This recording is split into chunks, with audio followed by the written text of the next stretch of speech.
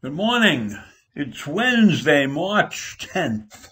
And just a quick follow up note on the feud between Donald Trump and the Republican National Committees.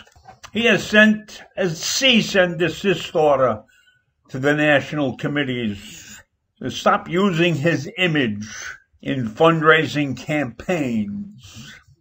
And they have responded to him. They have told him that the National Committee has every right to refer to public figures as it engages in First Amendment protected political speech, and it will continue to do so in pursuit of those common goals. That's what their chief counsel wrote to him or said to him. Basically, it's a quick fuck off, Donald. So now I will move on to some other subject. And then we have Meghan Markle and Prince Harry, who should have the world by the proverbials. But they don't. They left England and they're coming to live in the United States. This is a while ago. And there's all kinds of intrigue within the royal family.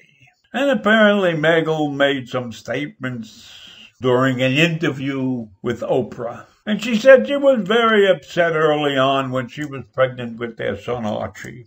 And then somebody in the royal household made a comment that they were disturbed about what the color of Archie's skin might be. Now, I think Queen Elizabeth is a pretty cool lady. And I think if something like that was being said, she would know about it and she would put a stop to it. Even if she agreed with the person, she would never let on because the royal family is secretive in their own way. They don't make their personal life public. So Meghan and Harry deserted the royal family by coming to the United States. And I don't think it was really appropriate that Meghan should be interviewed by Oprah and spill the beans, so to speak. I didn't watch the interview, so I don't know what she said. But in reading about it, it seems that the remark about the child's skin color made her cry the week before her wedding. If you put that in perspective, there's tough times all are going on all around the world. Even amongst royalty, there are tough times. And apparently, Meghan's friends have said she's kind, strong, and open, and she's not a bully. Many of us who know her feel for her. So if any of you want to watch the interview. It's currently streaming on CBS.com. Now, I have no intention of watching it. It's not my kind of thing. I would rather watch a documentary about World War II.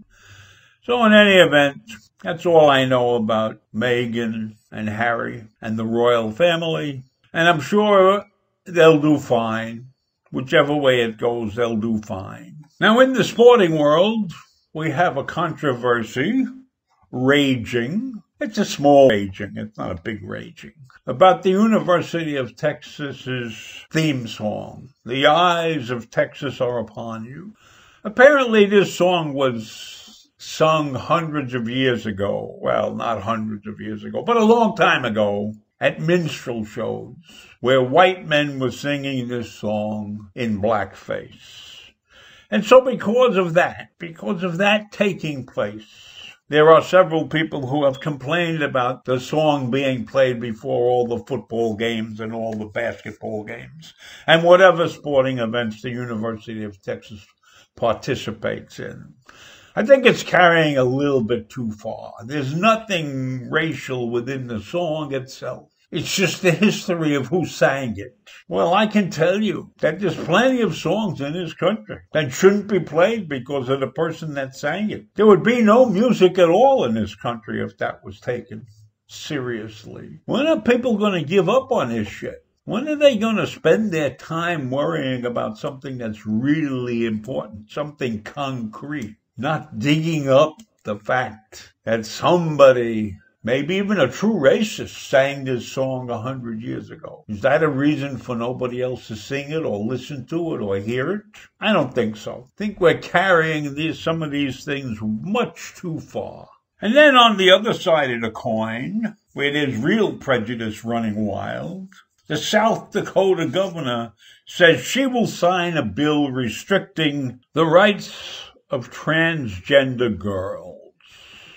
Now, a transgender girl is really biologically male. And so in the state of South Dakota, they're taking action because they don't want any physical males competing in girls' sports. Now, on the face of it, I think that's probably fair. But it bothers me that the rights of any children, transgender or otherwise, have bills written against them. And not only does this bill getting written against them, but she is excited to sign this bill. Like this is going to make her a, a wonderful person. It's just going to put her at the front of her party or whatever. How can you be excited about something like this? How can you go ahead and do something like this without giving it great thought? She claims it's a very simple bill. It's a bill to protect women's sports. But I don't think it's a simple bill. It's discriminating against a group of people, people who are not like other people. Now, maybe there should be another category in sports where these people have a a place to participate, where the transgenders can participate. Let them participate one against the other. Transgender boys against transgender boys, and transgender girls against transgender girls. You don't single them out and put them in a category. There are several politicians in South Dakota that came out against the signing of this bill. They said categorically this is a form of bullying.